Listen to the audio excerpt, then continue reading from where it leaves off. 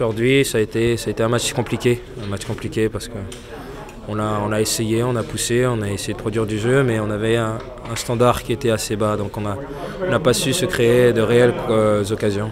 On est, on est super déçus de, ce résultat, de, la manière comment ça s'est passé, c'était, c'était pas, euh, pas terrible. On, avait perdu le match à domicile, on, voulait, on avait à cœur de, se racheter face euh, pour le Classico, ça n'a pas été le cas. On est, on est tous très déçus du résultat. Carton rouge, bon ben, on trouve un peu sévère, mais bon maintenant c'est, l'effet de jeu, c'est une décision qui a été prise par l'arbitre, donc on, a su faire avec, on a essayé de, de, rattraper euh, les coups, mais ça a été compliqué pour nous.